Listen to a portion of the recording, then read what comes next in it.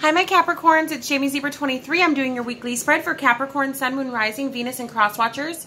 I'm on all social media. It's Jamie Zebra 23. If you'd like a personal reading, you can check out the website, jamiezebra23.com. My readings are 20 minutes, 40 minutes, and 60 minutes. I typically do your readings within 24 to 48 hours. I also have a new feature, same day readings. It's a little pricier, but you do get your readings the same day. I also have an $8 one question, one answer via email only. I typically answer you within about 20 minutes, so please be sure to write your email addresses correctly so that I can email you back fairly quickly. Also on the website, jamiezebra23.com, I've got full-size candles, do-it-yourself love kits, protection kits, prosperity kits, crystal stones, pendants, Florida water, Florida water soap, incense sage. Um, I've got pendulums for divination and prophecy and lots more on the website, jamiezebra23.com. I also have a 10-minute tarot card reading for $25. It's not the reading special. This is something different.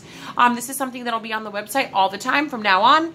All right, so Keep in mind these are general readings. These are not personal readings, so they may or may not resonate. So please be sure to um, check out your sun, your moon, and your rising videos for further insight. Okay, this is what's going on. So I feel like for some of you, you do have either it's you or a fellow earth sign, Capricorn, Taurus, or Virgo that just does not want to let go. I also feel like maybe the reason why some, or, or this could be any other zodiac sign, and the reason why they're kind of clinging to you is because they think maybe money's going to be involved. It's kind of like, oh, hell no. Oh, this person's coming into money. Oh, I'm just, I'm supposed to just walk away now. Oh, oh, hell no. I'm going to get mine. So this could be um, an earth sign, a Capricorn, Taurus, or a Virgo, or this could be a Gemini, a Libra, or an Aquarius. Um, man or a woman. So I feel like some of you know what this person is up to, but it's kind of like you have feelings for them. So even though you know you're about to get duped or used, it's kind of like you're it's a worth it to you because you love them. You know, love is blind. But I feel like you guys are not blind to what's going on. You're like, well, I got to pay the Pied Piper. You know, I got to pay to play. That kind of thing. Some of you are a little bit programmed into thinking that. So this could be like a pimp hoe situation, stripper stripper trick situation, hook hooker tr trick situation, something like where I know if I don't pay, this person won't want me.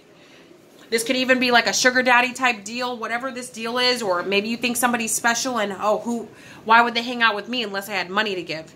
So I, I hope none of you are thinking this way, but I got to tell you what the cards say. And if you are thinking this way, please stop now.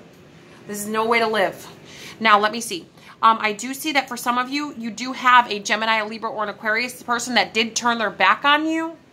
But again, as soon as they see those dollar bills, they're coming back in.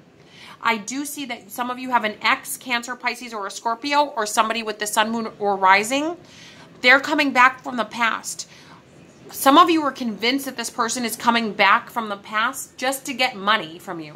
Some of you are thinking, oh yeah, they think I got money. Oh, oh, they must be in trouble. Oh, yeah, they want something from me. Um, I don't think that that's what they're doing. I think that they're more like reminiscing about the past. And they're sort of like, it's sort of like maybe things were really horrible between the two of you.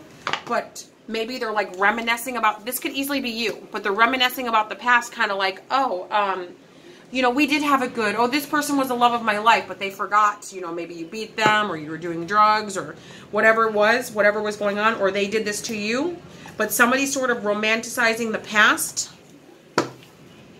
when it was actually a living hell and there was nothing good about it.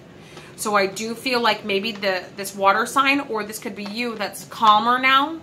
You're more focused now or they're more focused and that's a good thing.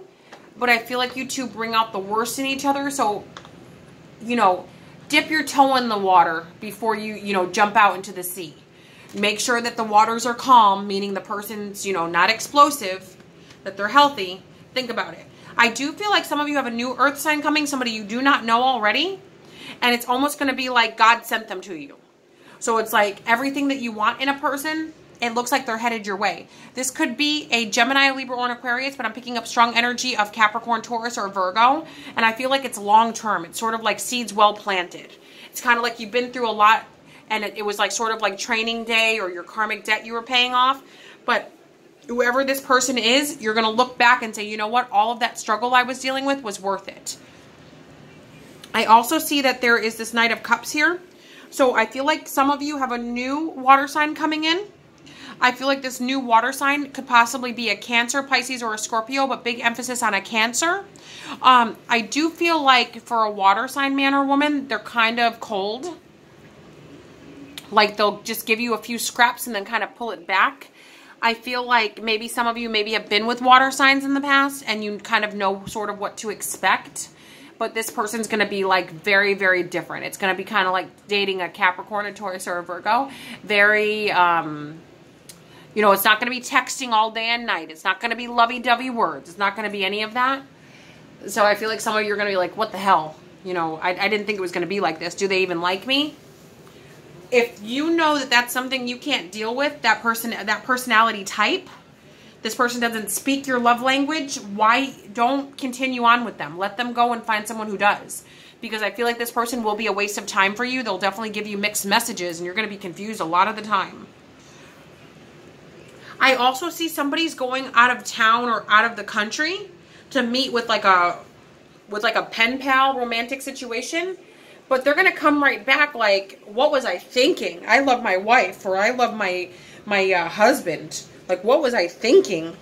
So somebody's definitely coming back. I feel like it's not really from the past because I feel like they're leaving your house to go out of town to go meet with this other man or woman. And then they come back and they're like, I made a mistake. I'm sorry I did this. But there's a lot of reconciliation coming up this week and a lot of people coming to their senses this week. Or whatever they do this week, they'll be coming to their senses soon. All right, my Cappies, have an amazing week. JamieZebra23.com. Ta-ta for now.